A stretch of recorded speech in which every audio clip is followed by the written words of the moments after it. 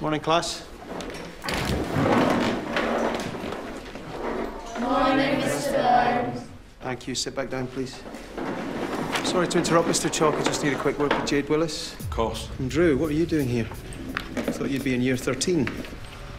How old are you? I'm 16, sir. 17 next September. Jade?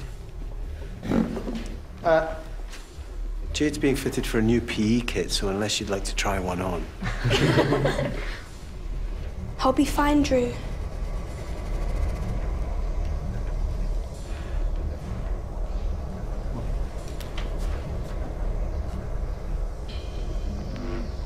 Now, come on. Interruption over. Back to your favourite subject, equations. Jade, I need you to be honest with me. This application, it's all nonsense, isn't it? No, sir. It's Address, the phone numbers, you made it all up. Is there anything in this that's true? Yes, sir. It's true that I really want to come to this school. I need to be here. What about Drew? You can stop lying, Jade. He's not your brother, is he?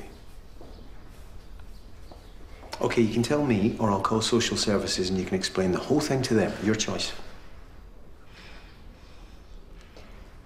So, how about we just start from the beginning?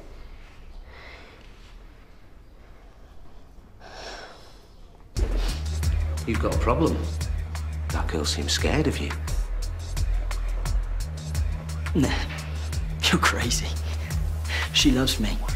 Ask her. Don't you all look gorgeous in your new uniforms?